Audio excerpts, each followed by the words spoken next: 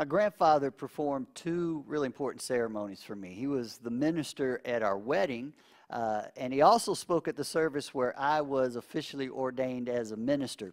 And on both occasions, he gave some, some really good advice. And I know Kimberly thought so because uh, a lot of it had to do with treating her well.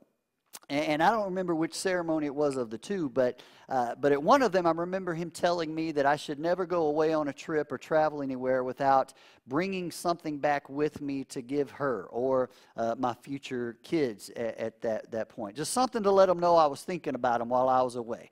Uh, I remember saying it didn't have to be anything extravagant. Uh, could be something simple like from the airport or the hotel, which is why you know Kimberly got a lot of unopened packages of, of airline pretzels and got a really nice basket collection now of some of those little soaps and shampoos that you get from the hotels. Uh, but but at least set a, healthy expectation. Uh, so the first thing I was always asked when I got home from a trip by Kimberly or or my kids was yeah, what did you bring me? What did you got? What did you bring home with you? Uh, and and I think early on in a person's faith journey, like our relationship with God can be a little bit like that. Uh, although it might not be as healthy as what my grandfather was trying to teach me. Uh, but, it, but it's kind of like, okay, well, dear Heavenly Father, we go into our prayers. Dear Heavenly Father, thank you for this day because I'm always supposed to open my prayers with that, right?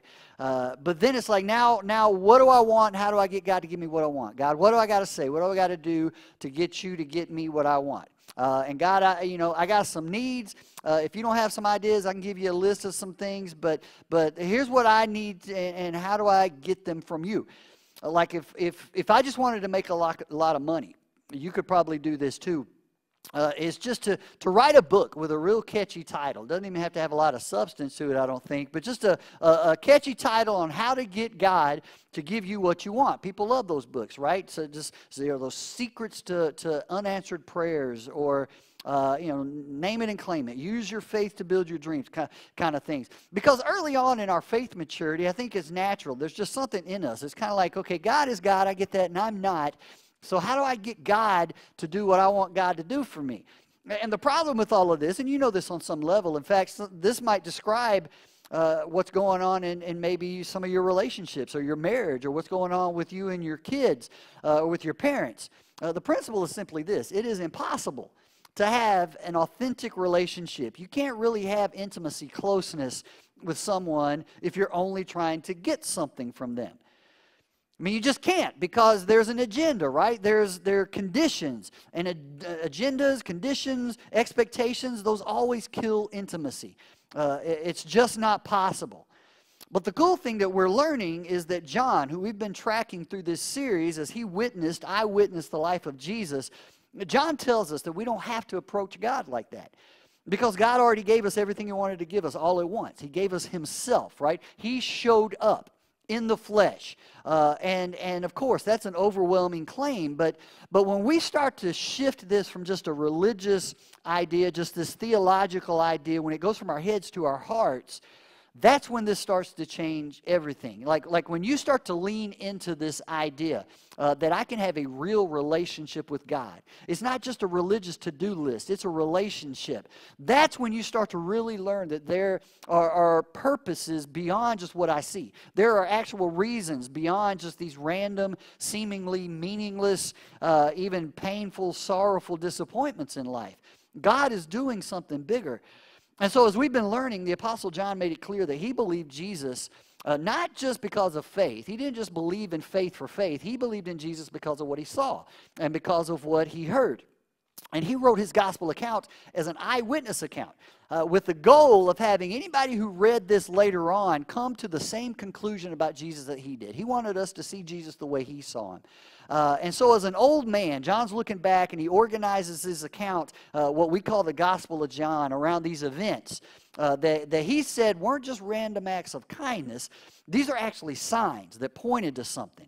Uh, and these signs, and in his gospel, John recounts seven of them we're looking at. These signs were evidence that Jesus was, in fact, who he claimed to be.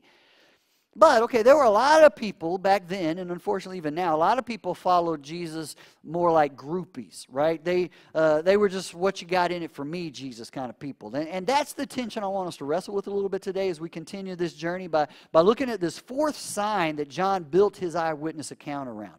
And it's probably one of the most famous stories in all the Bible. Uh, it's what we now refer to as the feeding of the 5,000. Uh, and now, if you were to look uh, at this area on a map where we left off last week, the nation of Israel is kind of like this big log oblong country, runs from north to south. Uh, and, and, where we left Jesus last week, he was uh, south uh, in the city of Jerusalem, but now he and his disciples are going to start to take a journey up north uh, towards the Sea of Galilee.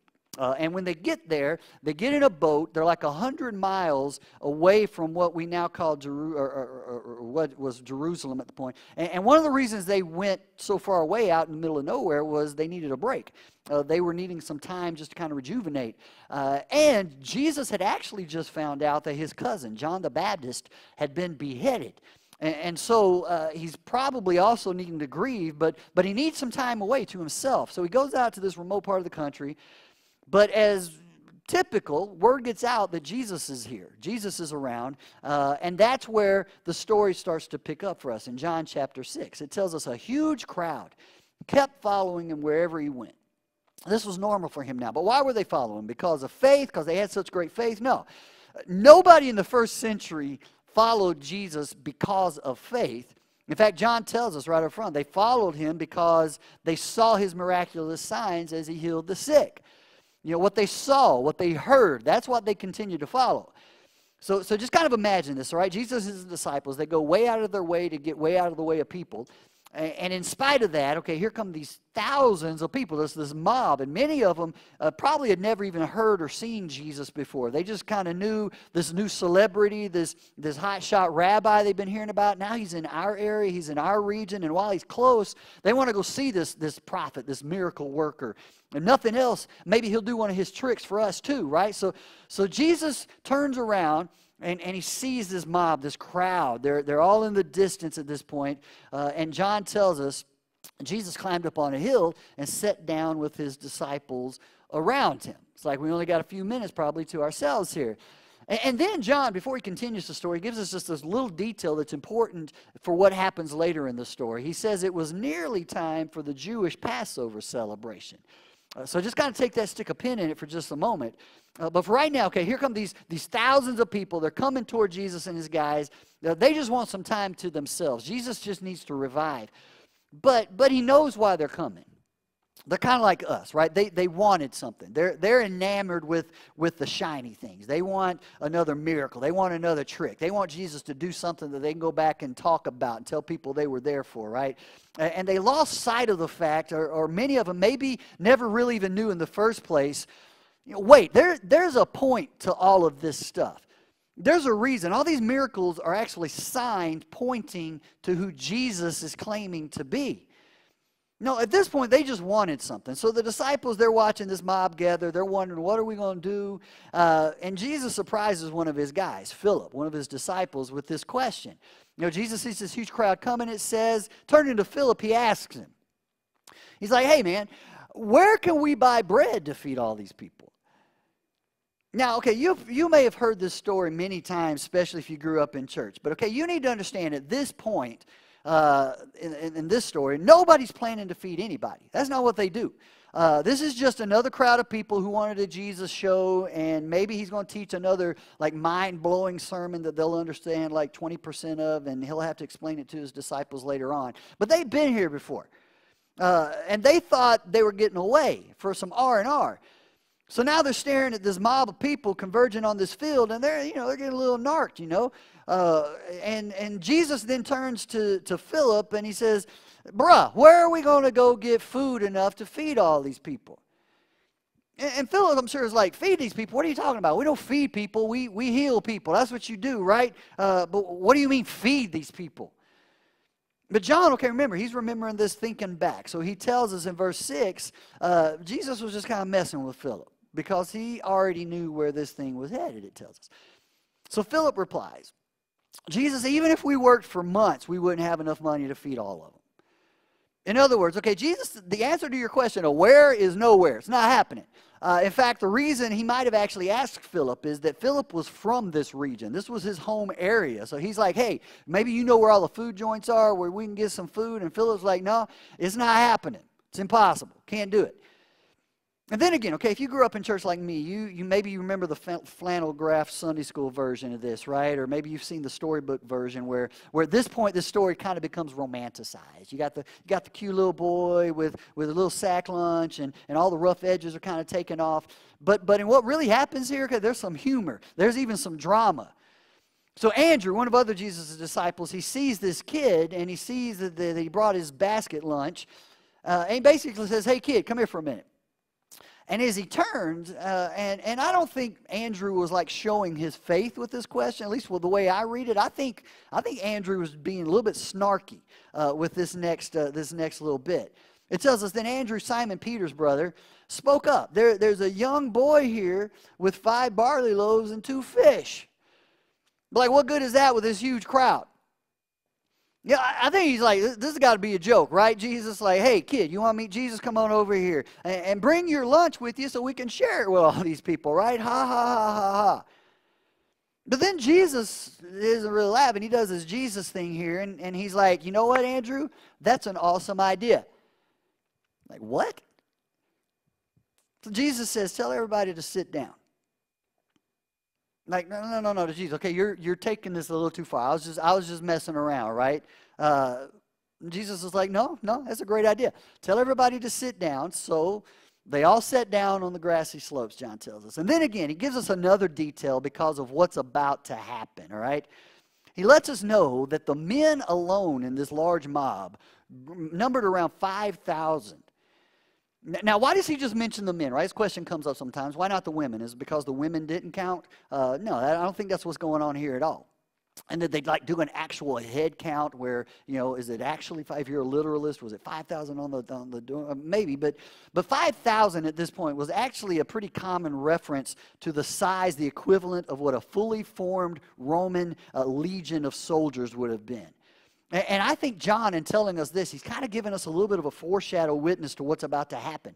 Because, because some people estimate there could have been as many as 20,000 out here in this grassy field waiting to, to, hear Jesus and watch him do something. All these people with no idea, okay, of what, what's really going on up at the front, the conversation that's going down. So I, I imagine Jesus just kind of smiling at this little boy and reaching down, takes his food. And then, okay, get this Jesus stops uh, and this is the part, I don't want us to rush by this, okay? The only people that know what's really going on at this point are the disciples, Jesus, this little boy, and maybe, maybe some of the, the stage crashers up front. But Jesus says, okay, guys, got the food. Let's bow our heads, let's close our eyes, and, and let's give thanks for the lunch. Uh, but but they're not they're not bowing their heads and they're not closing their eyes, right? They're they're looking over their shoulders, kind of like, "Are you serious?" okay, Jesus. I mean, you know, I, I tried to think of an example of maybe we could relate to here. Uh, and, uh, you know, after weeks of coming to church and we haven't been able to do coffee and donuts like we're used to, right? Uh, what if today I had come in with just like one blueberry muffin and I said it right here? Uh, and, and I just put it there and I say, hey, I got everybody a muffin. Like I didn't get I didn't get a muffin for for each and every one of you. I got a muffin for everybody, right? Uh, so let's let's all bow and thank God for this muffin before we share it together. And I think that still would have been way more than what Jesus was working with here, according to what the disciples are seeing. Uh, but Jesus, okay, as sincere as he can be, verse 11 tells us he took the loaves and gave thanks to God it's kind of like, okay, well, well, what's about? Are the food trucks about to roll up? Or, you know, is, uh, the, the disciples have to be thinking, this is ridiculous. Uh, like, this is, this is even embarrassing. And I think Jesus is just grinning. He's just smiling. John tells us that he took the loaves and distributed them to the people. Okay, and, and okay, don't rush past this because to distribute it to the people meant he distributed it. And then he kept distributing it. And he kept distributing it. And afterwards, says he did the same with the fish, and they all ate as much as they wanted. And after everybody was full, and, and these couple of little phrases, okay, you, you got to realize this probably took a couple of hours. After everybody was full, Jesus told his disciples, now go take the leftover so nothing is wasted. And so now there, there are all kinds of explanations out there if you go looking of what actually happened uh, if this wasn't really a miracle. Like people try to break it down. What's the science of this? Like maybe everybody really did come with their lunch uh, or enough people were there, but they just weren't sharing. But then when they saw this little boy sharing, oh, that's so cute, we're inspired, and everybody started sharing with each other and they all ate. You know, maybe. Maybe that's what happened, but, but that's just not what anybody who was actually there said what happened. So I think we should go with the eyewitnesses who were actually there. And John says this is how it went down. No, this, this was a sign. And most of these people might never have even known where all this came from until much later. I mean, because at this point, okay, there's no trucks, there's, there's no box lunches on a table, everybody get in two lines and, and orderly stuff. No, we don't care, we're just hungry. And once they all got stuffed, John tells us, they picked up the pieces, uh, and there were 12 baskets of scraps left by the people who had eaten from the five barley loaves. And so it didn't take long before word started to spread through the group how this actually went down. Uh, like this guy created so much extra food. Uh, and the question they're asking, okay, the question they should be asking, uh, in fact, the most important question you and I could ever ask uh, in your life is who is this guy? Right? That's what they're asking. Who is this guy? When the people saw him do this, John tells us, uh, this, this miraculous sign, not just a random act of kindness, this is a sign pointing to something. When they saw it, they exclaimed, all of a sudden, surely he is the prophet we've been expecting. Like, and just for a moment, they shift their focus. And the reason this only lasted for a moment is because, like you and I, they, they get hungry again. But for now, they're full. And just for a moment, they're able to take their minds off themselves. They're able to take their minds off their, their appetites. And they're able to shift their focus from the miracle, from the sign, to the person who the sign was pointing to. Maybe he's the one. Maybe this is the one we've been praying for and looking for and hoping for for so long. And for just a moment, they got it. But Jesus knew, uh, you know, their, their recognition, this acknowledgement was only temporary. And besides, okay, now wasn't the right time for him. So, so when Jesus saw it, says well, they were ready to force him to be their king, because that's where all this was probably headed. When he saw where this was going, he slips away into the hills by himself. And so this was all, what all this foreshadowing, I think, was about. All of a sudden, okay, uh, these 20,000 people, 5,000 men, right, the equivalent of a Roman legion. And, the prophet Moses, they remembered, okay, the first prophet was able to deliver our people from the bondage of Israel. If this is the guy, certainly the second prophet, this, this rabbi from Nazareth, uh, the, he's going to be able to deliver us from the bondage of Rome. And okay, imagine if that were to happen, if that's where this were all heading, imagine the scene. 5,000 men start marching south, right, from the northernmost part of the city around the Sea of Galilee. They're picking up momentum as they go. You know, by the time they leave Galilee, maybe they've doubled in number. They're picking up guys. And by the time they're halfway to Jerusalem, uh, from, from the edge of the border of Galilee, they, they may have tripled in number. By the time they get to the gates of Jerusalem, they're the equivalent maybe of three or four Roman legions the whole country would come alive, right? Uh, the, finally, the Messiah has come. Our conquering king is here. The land is going to be theirs. Their prayers have been answered. And Jesus knew their hearts. But he also knew, get this, that their motive had very little to do with, with who he was, had everything to do with what he could do for them.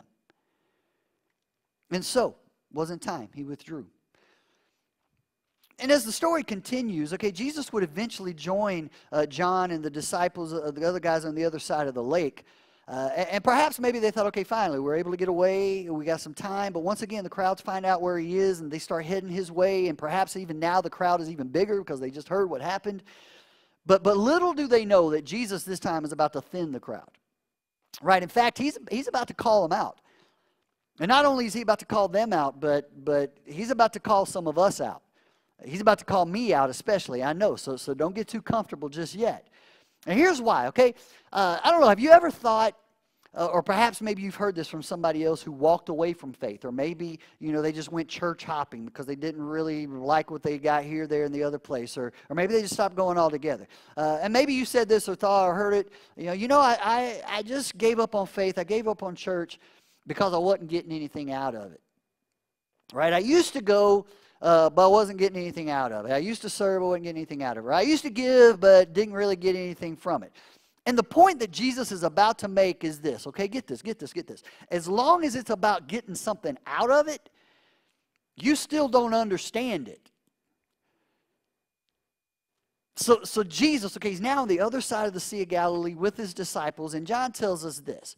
They, talking about the crowd, they found him um, uh, on the other side of the lake, and they're all like, "Hey, Rabbi, like, where did you, where'd you get, where'd you come from?" Which is not really their real question. They start this dance again.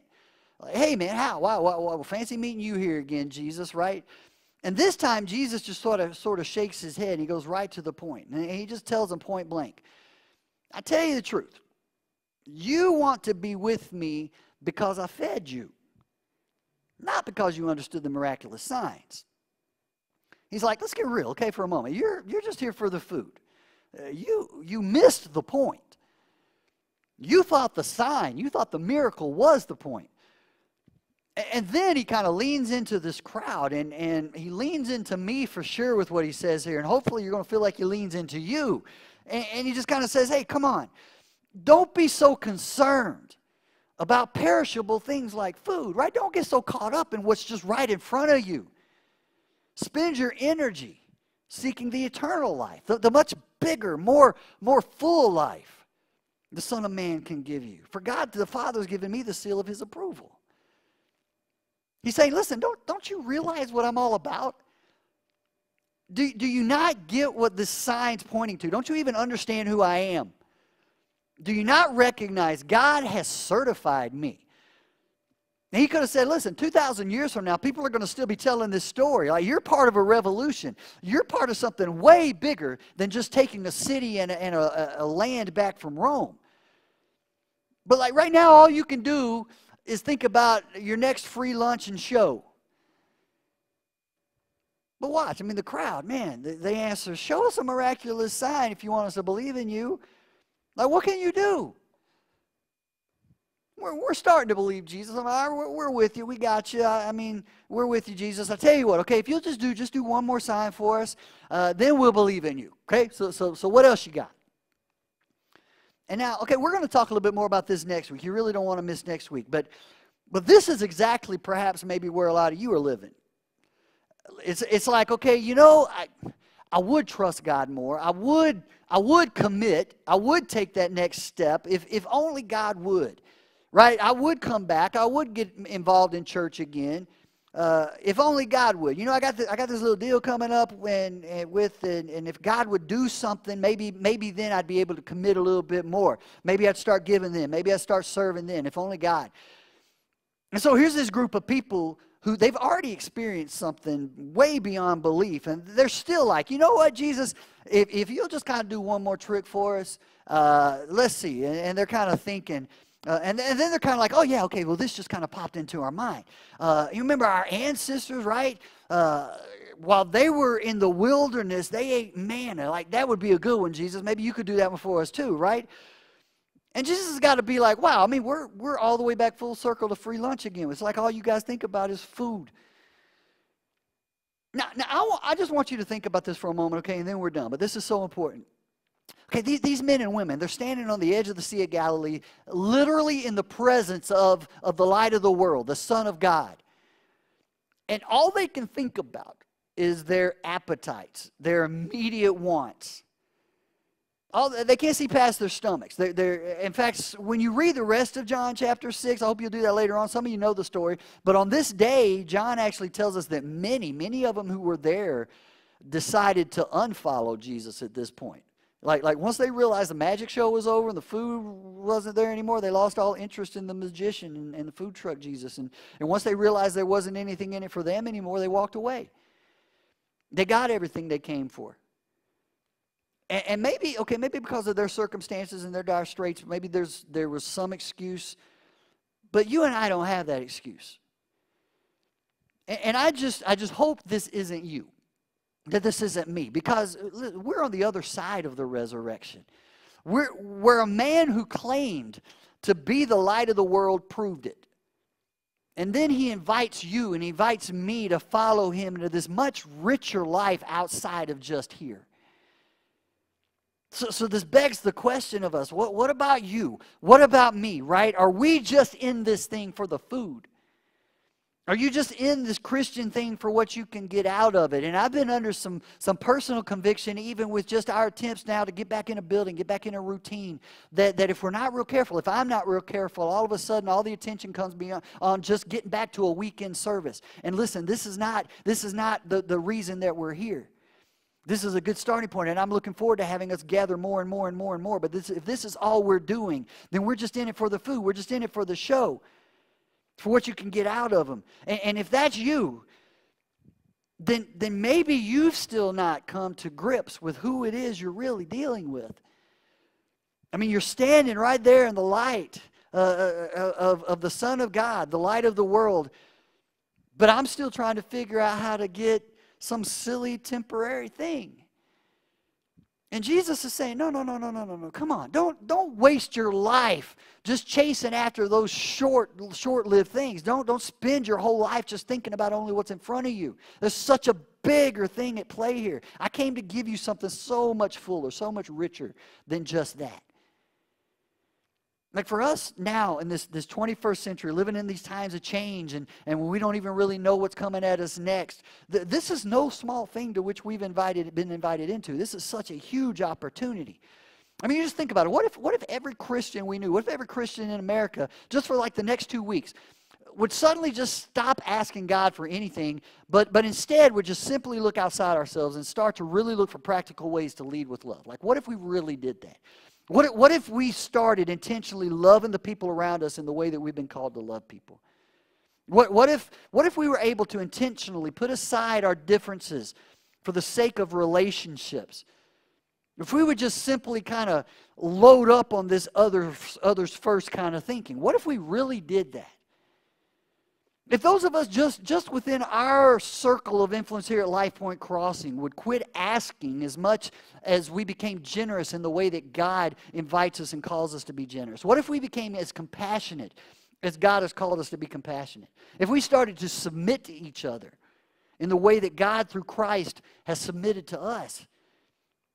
Like if we would just do some basic things as Jesus followers right here in our own community right now. Okay, get this. If we would lead with love in our community, the ripples would be felt. They would because we've seen it happen before. So, so the question can't be, okay, what can I get out of it? Is this working for me or not? The question that's going to change everything for you, no, no, no matter how long ago you prayed a prayer uh, to become a Christian so that you wouldn't go to hell, or, or no matter how long ago you put a stick in the fire when you were a teenager or took that next step, then you kind of drifted away. Look, no, the question that changes everything, no matter how old you are, no, no matter how many prayers you've prayed in the past, the question that really starts to change things is the question Jesus was trying to get his audience to focus on. And the question is this who do you believe I am? Who is this guy? Who do you really believe I am? And for some, he wasn't anything more than just some magic rabbi. And they lost their interest in him as soon as the show was over.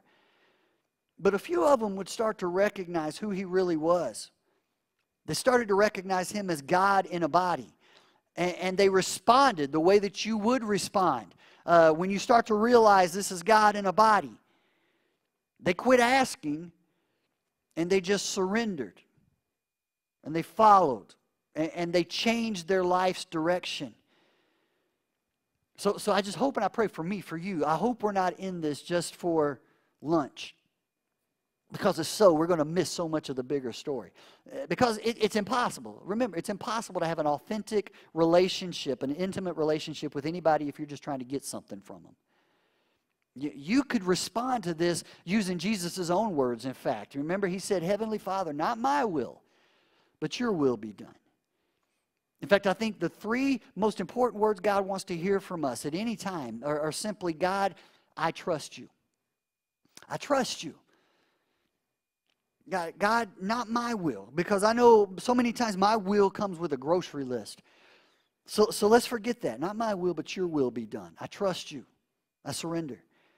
And, and, this is a brand new kind of life we've been invited into. This is a different perspective on everything. And listen, when that becomes enough, that's when life starts to change. That's when new life begins, the, the adventure begins.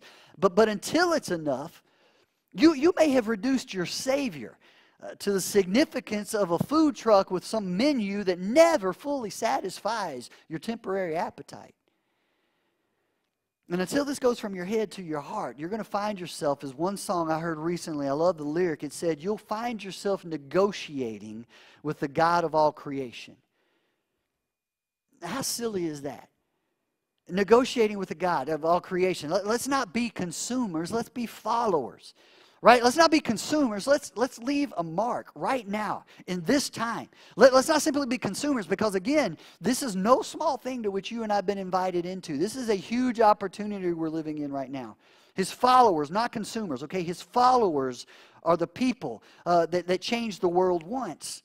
And perhaps this generation this group of people here at LifePoint Crossing are the followers that can change this world at least our world again and so you got some next steps I'd encourage you to take. I, a lot of times like to think of them in four G's, right? There's, there's gather, grow, give, and go.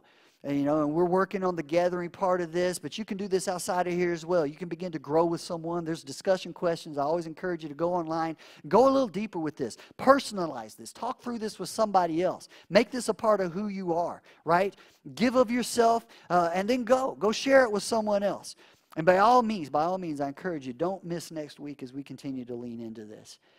But what, would you let me just pray with you? Father, I do thank you this morning for, for what you've done for us. God, help us not to miss the, the invitation uh, because, of, because of the religion or because of, of what we're so comfortable with. God, help us to not be so short sighted. But thank you. Thank you for challenging us. Thank you for, for encouraging us to step out in faith because that's where we find you. That's where we see you at work. So, God, this morning, as we continue to lean into this, I just pray that you would make it practical for us as well as we go about our lives this week, especially through the challenges we face. God, give us an opportunity to grow in our faith and to grow in our relationships with you and other people. We pray this in Jesus' name. Amen.